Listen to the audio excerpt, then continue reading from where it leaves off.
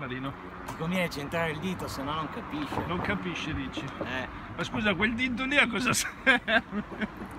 Com'è successo? Raccontaci la dinamica, Marino, che Marco vuole sapere. Marco può andare a darvi al culo, anche se non c'entra. È la dinamica che ho pestato anche un paletto di merda che adesso taglio. Lo segniamo adesso. Oh, Girano i filmati sulla rete, cazzo. Eh sì, figa. Ecco, IRB, mi dici in prima linea in bicicletta. Aspetta. sì, ma non puoi Cosa non ti mandargli... sei perso, Marco?